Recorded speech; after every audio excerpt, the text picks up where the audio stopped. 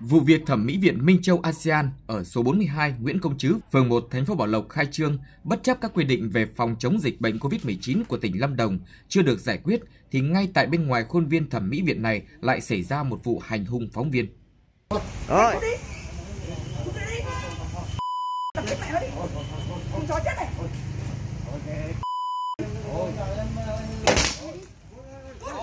Rồi.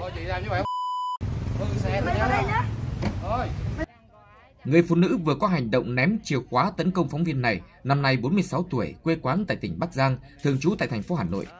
Trước khi xảy ra vụ tấn công, bà này từng lao tới đập vào tay khiến điện thoại phóng viên rơi xuống đất. Vụ việc xảy ra chiều ngày 2 tháng 6 năm 2021 khi Trung tâm Y tế thành phố Bảo Lộc đang tổ chức lấy mẫu xét nghiệm SARS-CoV-2 đối với tất cả những người có mặt dự lễ khai trương tại Thẩm mỹ viện Minh Châu ASEAN vào tối ngày 1 tháng 6. Khi phóng viên đến khu vực này tác nghiệp thì bị tấn công. Như báo Thanh niên đã thông tin, chiều tối ngày 1 tháng 6 năm 2021, cơ quan chức năng thành phố Bảo Lộc đã kiểm tra công tác phòng chống dịch COVID-19 tại Thẩm mỹ viện Minh Châu ASEAN. Lúc này, Thẩm mỹ viện đang tổ chức khai trương. Tại đây, cơ quan chức năng phát hiện 31 người đến từ nhiều tỉnh thành phố chưa khai báo y tế, trong đó có 28 người đến từ Hà Nội, thành phố Hồ Chí Minh, Quảng Ninh, Bắc Giang, Bình Dương, Lào Cai, Thái Bình, Thanh Hóa, Đồng Nai, Nghệ An và 3 người tại thành phố Bảo Lộc. Thời điểm kiểm tra, tại đây đang diễn ra chương trình ca nhạc bằng hình thức hát karaoke với sự tham gia của nhiều người không thực hiện 5K.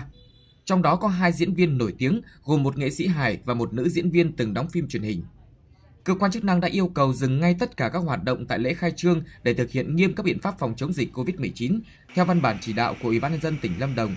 Ngay sau đó, tất cả 31 người có mặt dự lễ khai trương tại Thẩm mỹ viện Minh Châu ASEAN được các lực lượng thuộc ban chỉ đạo phòng chống dịch COVID-19 thành phố Bảo Lộc mời về trụ sở Ủy ban nhân dân phường 1 để kiểm tra thân nhiệt và khai báo y tế.